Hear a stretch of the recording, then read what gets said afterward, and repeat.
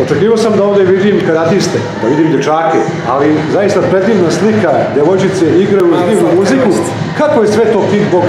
Crna Kobra organizovao i kako ste zamislili ovu školicu? Pa ovako, mi smo pre svega u okviru kickbox kluba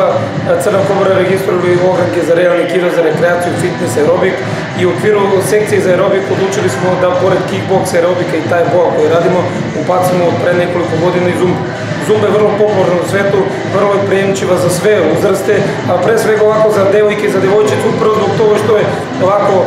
lepa muzika, koreografija nije teška, vrlo zanimljiva, e,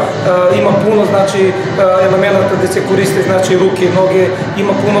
ovako da kažem i složenih koordinativnih zadataka koji su devojčicama malo da kažem ovako lakše za izvođenje jer su po meni više prilagodljivi tom ženskom uzrastu nego muškarcima, a što ne znači da ne mogu da je rade i muški. I ono što je vrlo važno, dobre za kondiciju, e, kondiciju koja je potrebna nama kickbokserima, tako da u staroj Zumba grupi mi nekako pozovemo naše takmičare kickboksere da malo dođu do kondicije, jer mislim da je aerobik za kondiciju jedna od najboljih stvari. E, koliko sam mogu da primetim, ovo je mešovita grupa, ima djevojčica nižeg uzrasta, višeg, da li je to njima sve ovako prilagođeno da mogu da rade i jedne i druge? Jeste, to je svetski Zim Zumba program koji mi dobijemo svaki mesec od e, predstavnika e, Zumba fitnessa u svetu, od Beto Pereza i njegovu grupu koji znači dolazi sa Floride iz Amerike. E, mi smo članovi tog svetskog Zim programa i te koreografije dobijemo njima koji su upravo prilagođene Zumba kicu, odnosno Zumbi sa decom. To je za,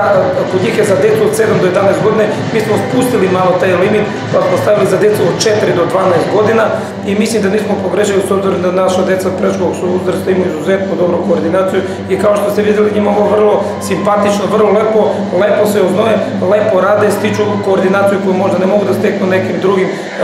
časovima ili tamo gde se nalaze nekim preškolskim ustanovama i mislim da to može samo da im poboljša njihov kvalitet života i da se kasnije bolje pozicioniraju u svetu koji je ispred njih.